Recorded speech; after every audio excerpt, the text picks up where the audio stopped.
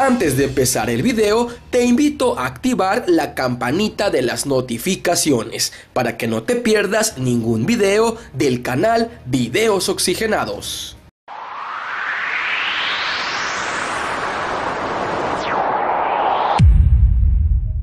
Es momento de contestar algunas de las preguntas que nos dejaron en Facebook.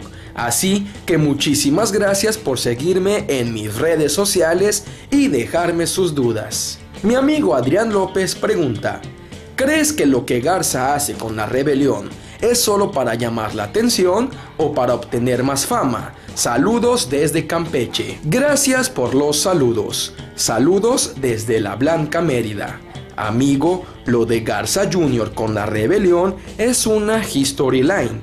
En este deporte está lleno de muchísimas historias para poder crear más encuentros. Puede que en la vida personal ambos bandos no se lleven, pero en este caso creo que todo es parte del espectáculo para brindar nuevas rivalidades en el ámbito independiente. Mi amigo Jorge PV pregunta, ¿Qué luchador crees que AAA debería contratar para este 2018? Saludos desde Monterrey.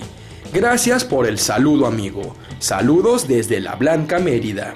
Pues hay muchos atletas en el ámbito independiente, pero entre los que me gustaría ver en las filas de la empresa se encuentran los traumas, al igual que a la máscara y máximo, ya que no tienen contrato con el Consejo Mundial y creo podrían manejar una buena tercia con Psycho Clown, recordando a los brazos. Mi amigo Freddy Dixon pregunta, ¿la lucha de máscaras Octagón versus Fuerza Guerrera se dará? ¿Llenarían el Azteca? Y en este año podríamos ver a Cibernético, Elia Park y Rush en AAA Contestando tu primera pregunta, se ve muy difícil el duelo de Octagón y Fuerza Guerrera en el Azteca. Tendría que ser un super promotor para poder llevar a cabo este encuentro. Viéndolo en otro plano, hace unos años atrás podría ser rentable ese evento, pero hoy en día ya no llenan las arenas como antes. Contestando tu segunda pregunta, Cibernético podría regresar a la empresa al igual que Elia Park, todo mientras les paguen. Rush se ve muy cómodo en el Consejo Mundial, por lo cual de él lo dudo. Pero en este deporte siempre aparecen las sorpresas y todo puede pasar. Mi amigo Alex pregunta, ¿quién crees que ganaría en una lucha máscara contra cabellera? Elia Park contra Rush.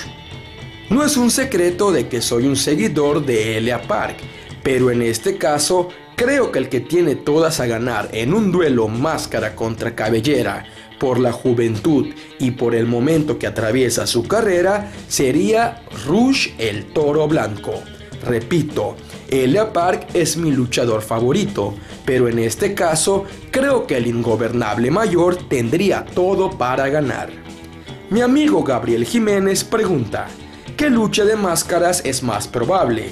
Hijo del Santo contra Blue Demon Jr., Octagón contra Fuerza Guerrera. Saludos desde Villahermosa, Tabasco. Gracias por el saludo. Saludos desde la Blanca Mérida. Creo que ninguna de las dos es factible a que se lleve a cabo, pero de escoger entre una y la otra, puede que se llegue a ser la de Octagón y Fuerza Guerrera.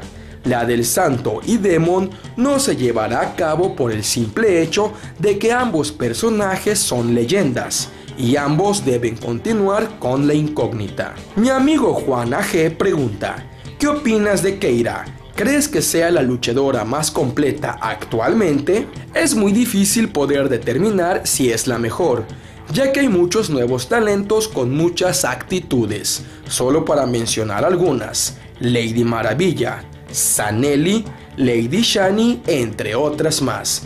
Pero de que Siqueira está entre las mejores actualmente, eso definitivamente lo creo, ya que ha sabido manejar su carrera y colocarse en un buen lugar en este deporte. Mi amigo Eduardo González pregunta, ¿tú quién crees que AAA le dé más empuje? ¿A Villano III Jr. o al hijo del vikingo? Es muy difícil poder saber eso, ya que eso lo ve programación y los directivos de la empresa. Pero si la pregunta fuera para mí, en lo personal, le daría más proyección al villano tercero junior. Se me hace que tiene una muy buena base luchística y a su corta edad y al tiempo que lleva, ha logrado cosas que a muchos les costaría años. Claro, sin hacer de menos al vikingo, pero desde mi punto muy personal me inclino más hacia el villano tercero junior. Mi amigo Héctor Valenzuela pregunta, ¿por qué estás tan guapo? No lo sé amigo, tal vez mis padres me hicieron con mucho cariño y amor.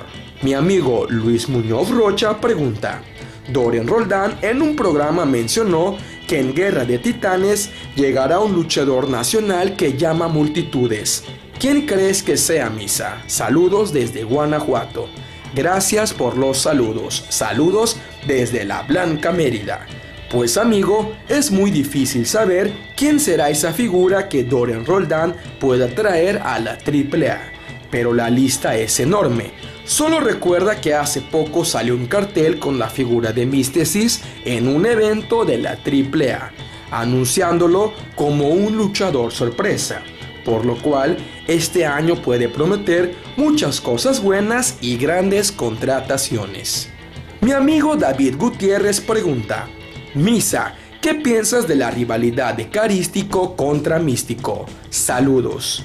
Gracias por los saludos. La verdad amigo, pienso que este encuentro es lo que muchos aficionados estamos esperando.